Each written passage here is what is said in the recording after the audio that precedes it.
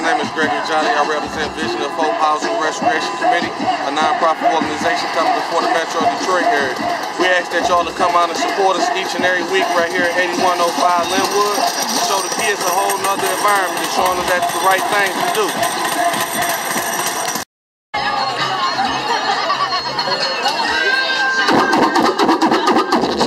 What's going on? i in the middle of the parking lot.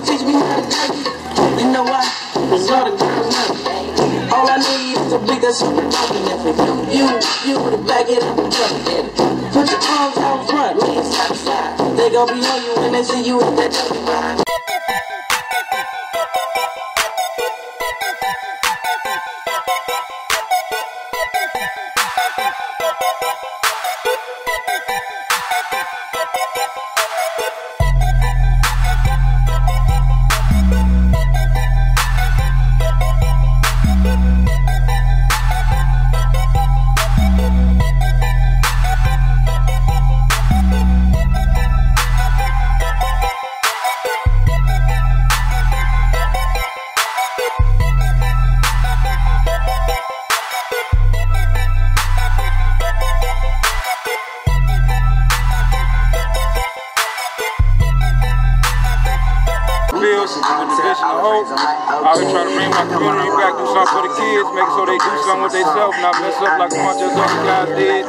You know, get a lot of good donations from people, a lot of good people around here, man. We got food every every weekend, things for the kids to bounce around on, games, situations they can learn about uh, gardening.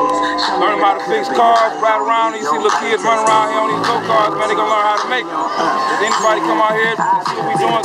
up with donations, some support for me to kind of way. Mention our name, anything can help. Vision of Hope. Jordan Fagley Event brought to you by Vision of Hope. And you'll see what we do for the community. Keep making it bigger and bigger each week. We're not going to stop. Going to be doing something bigger and better every single week. Every Sunday we are out here doing something. Come and support us. Come and donate. Come and eat. We need it. We got you. One love. Peace. Yes, my name is Gregory Jolly. I represent the Folk Housing Restoration Committee, a nonprofit organization that we're trying to work to bring forth to the Metro Detroit area.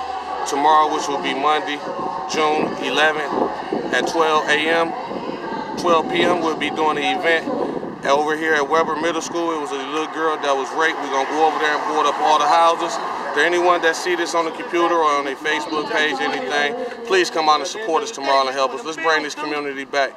Let's show the people that we don't need to stay involved in our stuff, that we can come together and that we can make this a better city to make people want to come back to the Metro Detroit area.